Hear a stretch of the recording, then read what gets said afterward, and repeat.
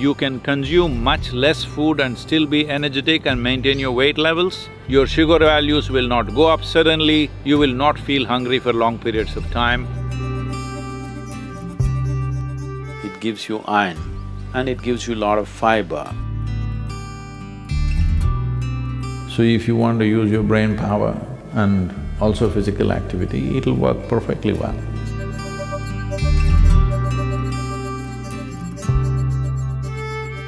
If you simply observe your own digestive system, the way it is built, there are enough parameters clearly telling you that this is built for vegetarian diet. We started eating non-vegetarian diet for survival. When survival was a issue, you eat whatever is available. It is not a moral issue, it's not a religious issue, it's not a philosophical stuff. It is just a question of what kind of fuel gets the best out of a particular machine. If you have a petrol motorcycle, you can put partially diesel, it'll still go, but you think you can race it? So the question is just this, what kind of life do you want to live? Do you want to live at the peak or you somehow want to survive? If you somehow want to survive, eat whatever the hell you want, what is the problem? But if you want to live at the optimum level, you want your body and your brains to function at its best, there is a certain way to eat. If you're conscious, you will see your body will function at a different level altogether. Because food is just fuel, it's not religion. You don't have to believe it, you just have to experiment with it. If… if you eat vegetarian diet, you have to eat consciously. You must make sure there's substantial variety,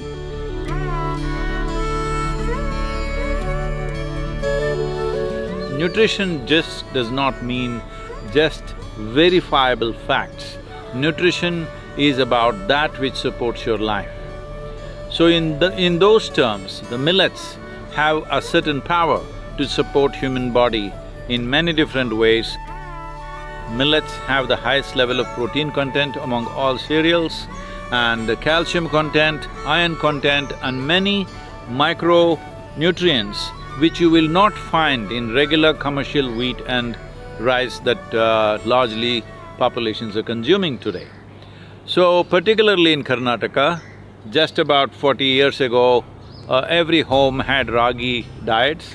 Ragi mudde is very popular and ragi can be made into so many things. Ragi ambali was a constant thing for children growing up and uh, ragi dosa, ragi roti, all these are very popular things. Just about anything that you can do with rice, you can also do with ragi, but we have fallen into one cereal trap, shifting at least fifty percent to millet diet, even if you cannot go hundred percent because of travel and other things, even shifting fifty percent, you will see three things. One thing is your general health and level of energy will be way higher than what you're experiencing right now. Next thing is, you can consume much less food and still be energetic and maintain your weight levels. In terms of millets, one important thing is they are slow release, your sugar values will not go up suddenly, it's a slow release process and uh, with less food, you will not feel hungry for long periods of time, which is a very good thing to do. This is very easy, those of you who tend to fast and try to balance your diet by doing uh, fastings and uh, intermittent fastings and things like that, you will see millet is most supportive for that kind of lifestyle. And above all, millet is closely connected to the land in which you live. It is a natural aspect of the land and that is the best thing to consume because the land, the soil and your body are not three different things they are one and the same. Will we get this now? Or will we get this only when we are buried? This is the only question. So millets should be brought into our lives. Every responsible citizen should do this for the well-being of their own health and well-being and for the well-being of the country and the world and the ecological diversity of the planet. And especially if you have growing children, millet is a must in your home. One great advantage with green is it gives you iron and it gives you a lot of fiber which makes the passage of food easy in the system. The protoplasm in the leaf which is what gives it the green color, you can never digest that if you eat it raw. If you cook it, you can digest it partially. Only certain aspects of the green leaf you can absorb, rest of it just goes waste. But it serves another purpose, that is, the fiber is one thing. And if sufficient green leaf is eaten, even uncooked green leaf, if it's eaten, it… Uh, it works like a brush. It takes away the mucus in your digestive tract. You have seen if you have dogs or cats at home, once in a way they will eat grass, that is not their diet. But they eat this so that mucus is cleaned up. They are all conscious enough to know when their system is loaded with mucus. Human beings, too much mucus here, so they're not able to notice it. Otherwise, you're supposed to notice it. One of the most important aspects of eating the green is it ensures that unnecessary impurities don't remain in the body.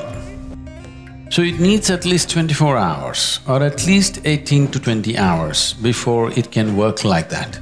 So if you eat greens, you must eat early in the day so that next day it works as a good laxative. And it clears up everything. So you… if you eat it in the night, you don't benefit from that. You must eat it early in the day.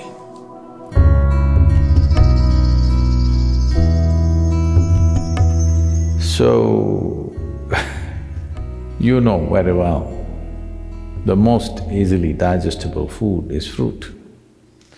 Digestion means the taragni, the digestive fires as they are known. If these fires have to burn most effectively, fruit is definitely the best thing. So fruit can do miraculous things to the body. Sufficient consumption of fruit can do great things to the system. One can become very, very alive and active, no matter what is your lifestyle.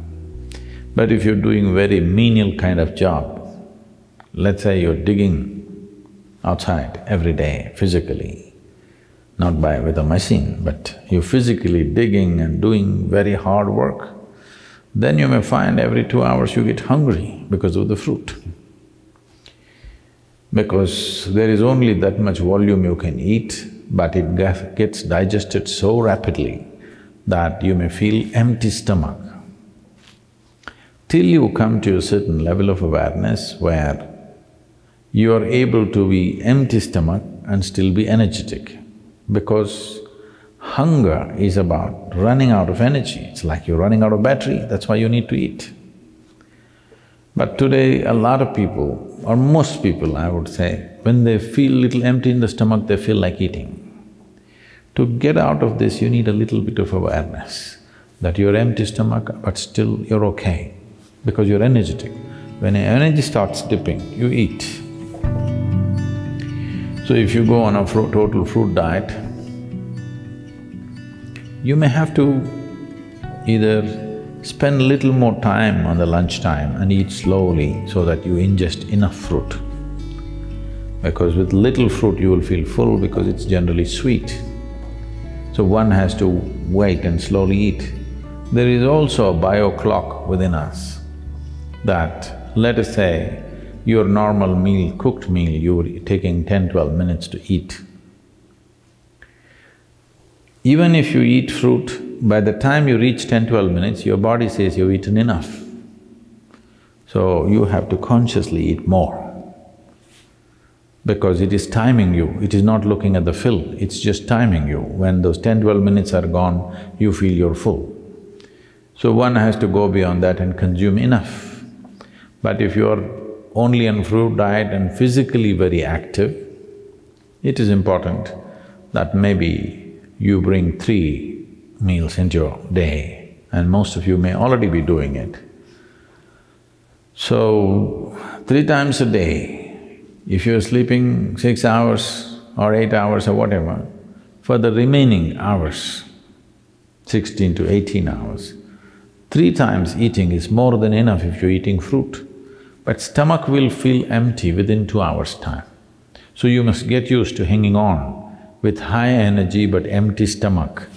This is the time your brain works best, this is the time as a human being you function best, it'll be good for you. So if you want to use your brain power and also physical activity, it'll work perfectly well. Yes, fruit will make a wonderful difference, especially in today's world, it's very important because we value a human being in the work areas, I'm saying. We value a human being for their brain power. So, for this, fruit will make a huge difference for sure. And ecologically, it's the most sensible thing to do.